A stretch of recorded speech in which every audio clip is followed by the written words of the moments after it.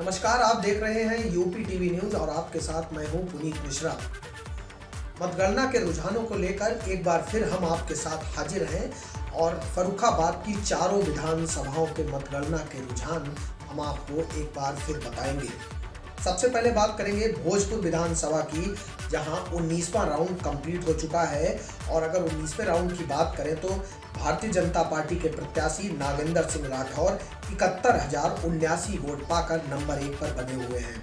और उनके बाद दूसरे नंबर पर प्रत्याशी समाजवादी पार्टी से अरसद जमाल सिद्दीकी हैं, जो कि अड़तालीस हज़ार दो सौ अट्ठाईस वोट लेकर दूसरे नंबर पर हैं।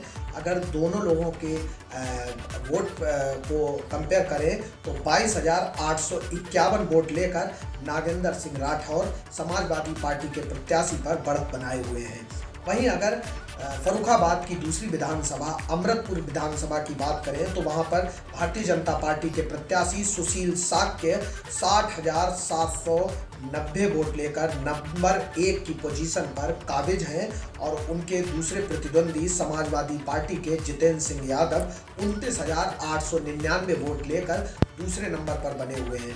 दोनों लोगों के वोट को अगर कंपेयर करें तो तीस हज़ार आठ सौ इकतीस वोट की बढ़त लेकर नंबर एक पर काबिज हैं सुशील साक्य अमृतपुर विधानसभा से। अब बात करेंगे तीसरी विधानसभा, कायमगंज विधानसभा की जहाँ भाजपा और अपना दल की प्रत्याशी सुरभि गंगवार उनहत्तर वोट लेकर नंबर एक की पोजीशन पर मौजूद हैं और उनके प्रतिद्वंदी समाजवादी पार्टी के प्रत्याशी सर्वेश अंबेडकर साठ वोट लेकर दूसरे नंबर पर हैं।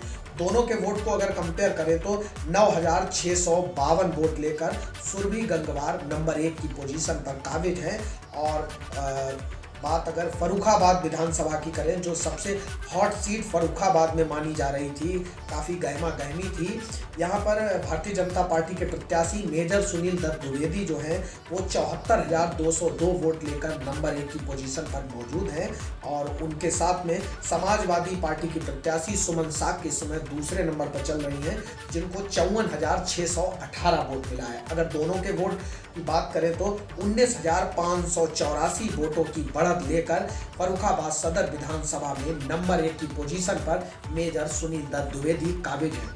अब बात अगर करेंगे फरुखाबाद की चारों विधानसभा पर तो चारों विधानसभा में भारतीय जनता पार्टी के जो प्रत्याशी हैं, वो एक लंबी चौड़ी बढ़त बनाए हुए हैं। समाजवादी पार्टी के प्रत्याशियों के ऊपर और उनके जीतने की संभावनाएँ प्रबल होती हुई दिखाई दे रही हैं।